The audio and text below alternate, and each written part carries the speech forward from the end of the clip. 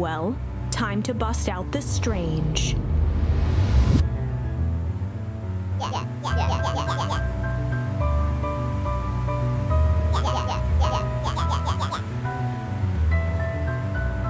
Beck stared in silence, the only sign of life being the twitch of an eye.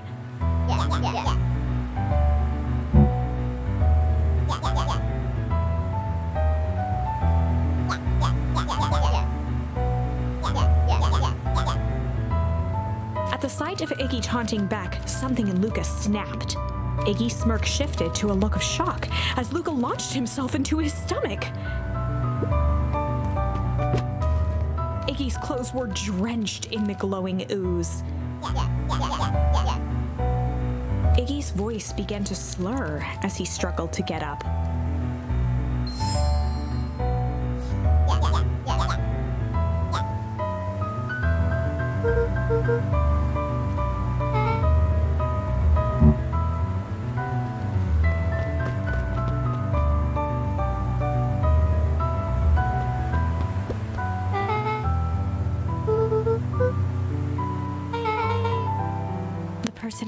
Warehouse. The strange ooze and what it did to Iggy. Was Rolo caught up in all of this?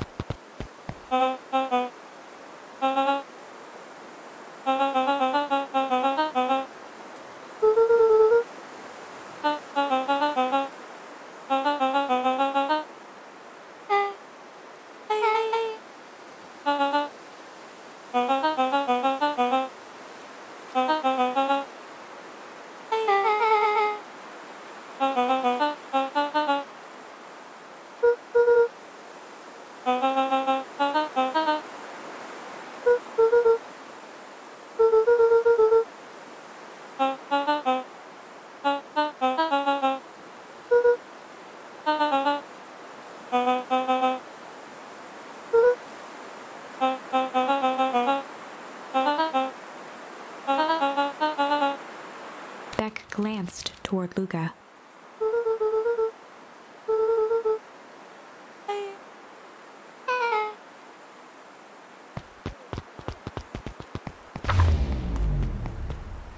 Rolo was safe. A wave of relief washed over Luca, which was quickly replaced by a sense of dread. Gran is going to kill me. If he hurried, he might just make it home before sundown.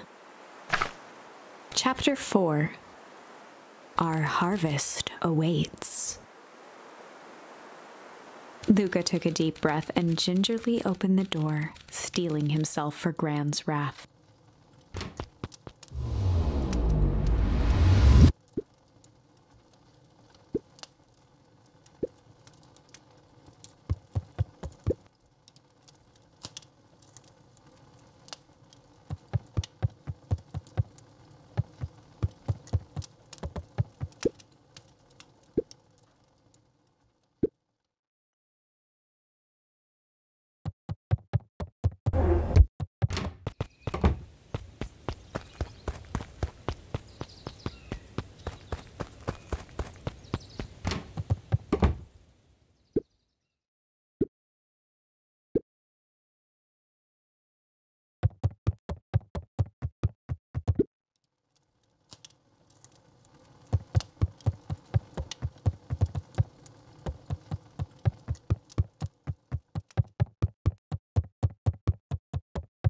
Luca was alone. The house was empty.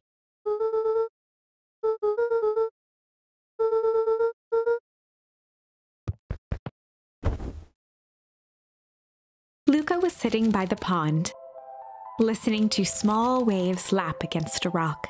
His father sat in a folding chair in front of him. Without turning, he spoke.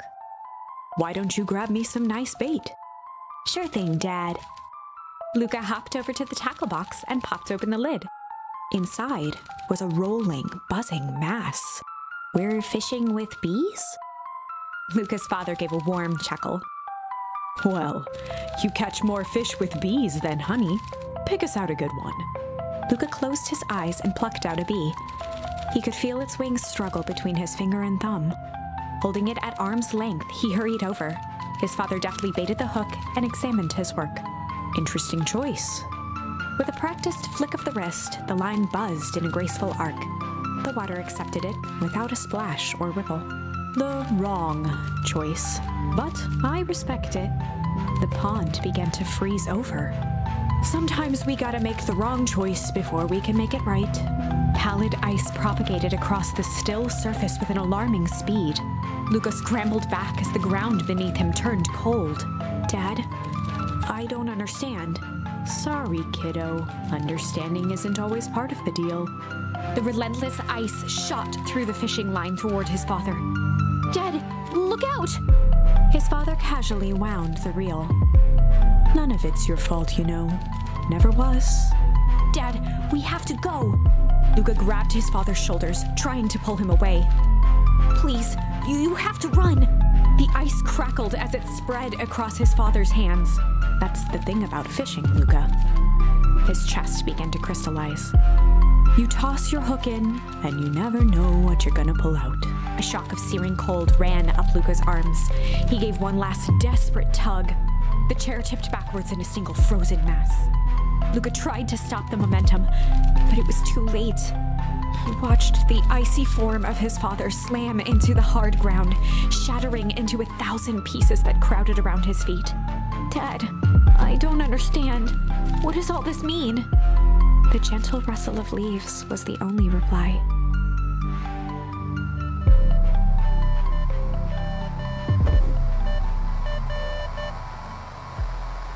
Luca's eyes struggled to focus on the walkie talkie.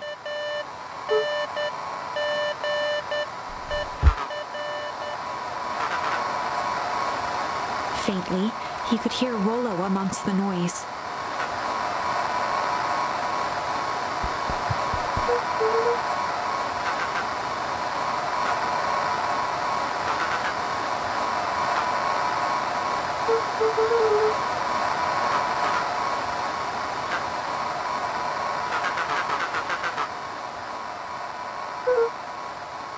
Rolo's voice was coming through more clearly now.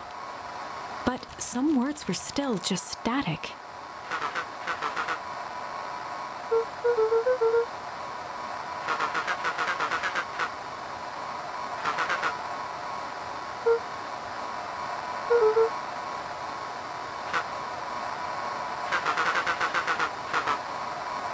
The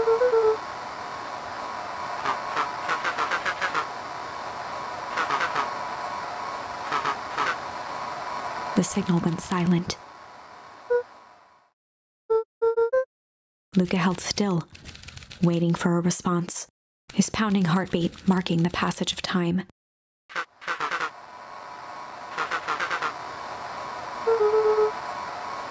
Rolo's voice began to fade.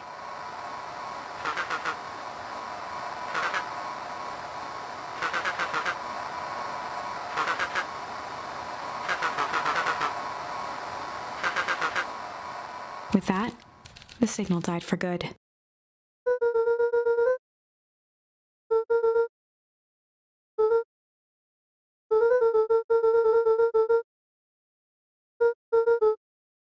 Luca grabbed the walkie talkie and sprinted to the treehouse.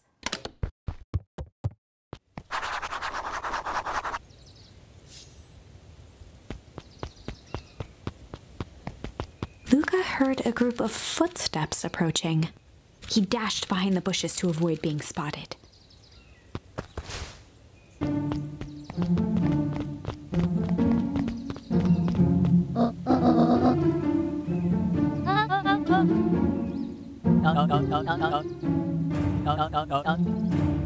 Mr. Tolliver paused, shifting his eyes to one side.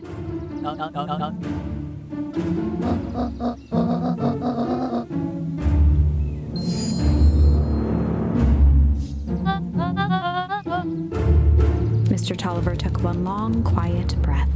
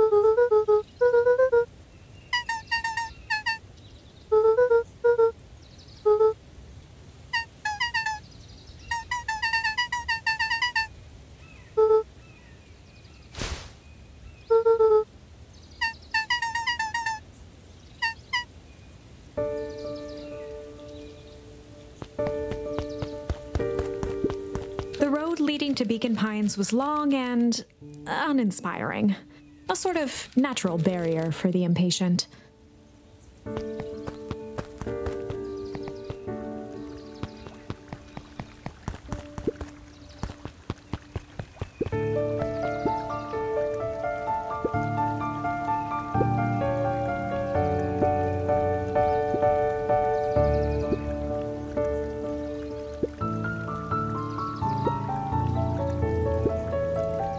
Two boys shared a mischievous grin.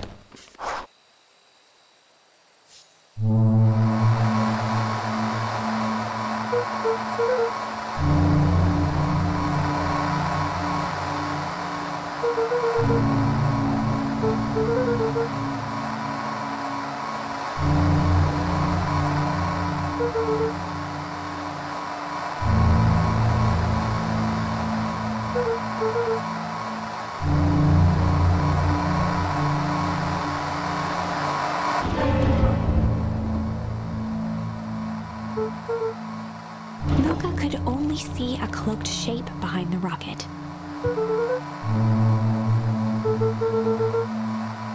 He strained to hear as a muffled voice began.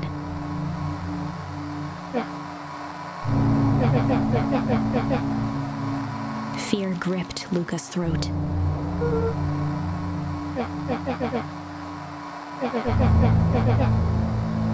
Luca stared at the ground for a moment, trying to place the dampened voice.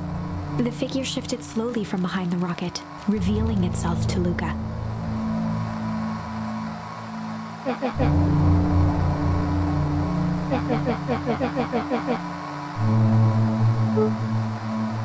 Luca reached over empathetically. Iggy's tone jolted to dejected anger. Luca slumped to the ground, overwhelmed by guilt.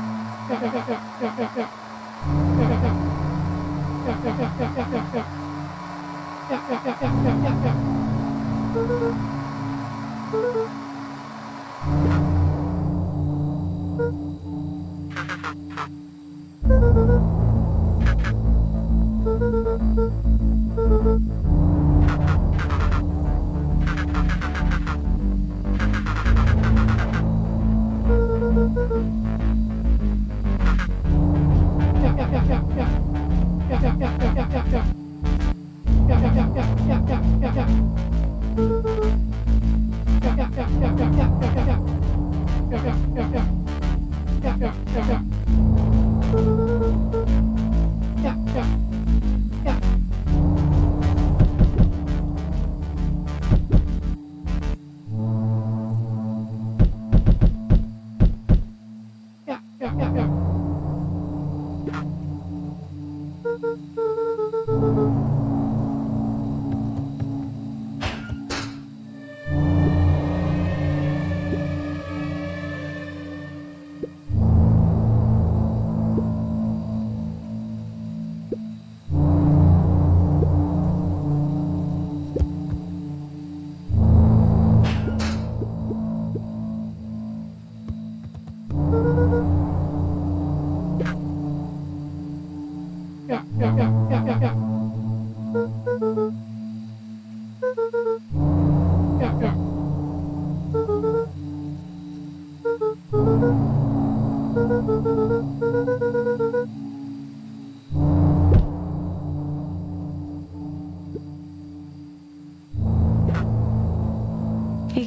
slumped to his knees.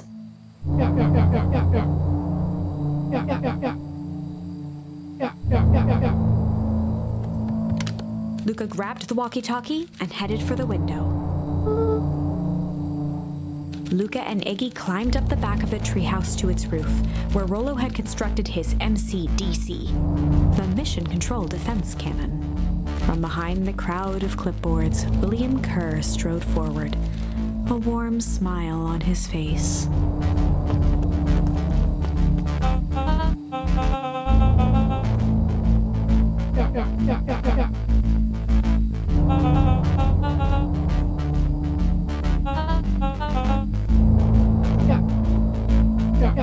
Kerr's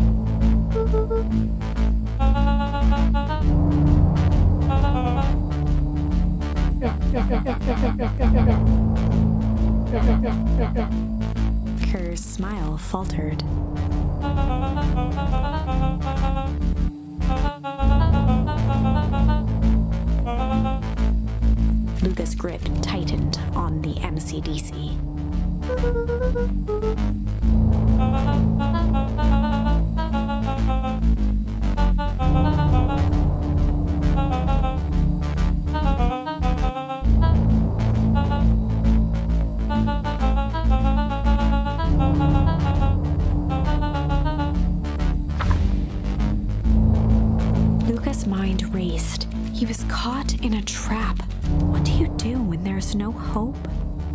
He wiped his cheeks with a sleeve. What are you gonna do, Luca?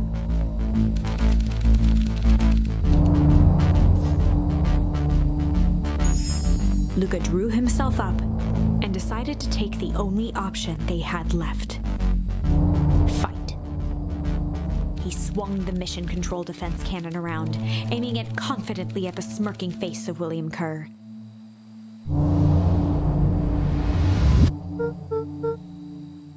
Lucas summoned his most insolent demeanor.